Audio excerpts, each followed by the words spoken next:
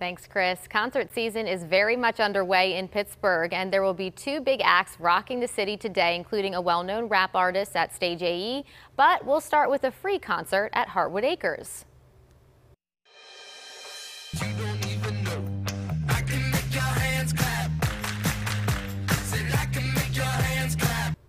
Fans of indie pop band Fitz and the Tantrums will have plenty to clap their hands about tonight. They're playing for free at Hartwood Acres Amphitheater as part of Allegheny County's free summer concert series. The gate to the parking lot opens at 3, and as for the other concert,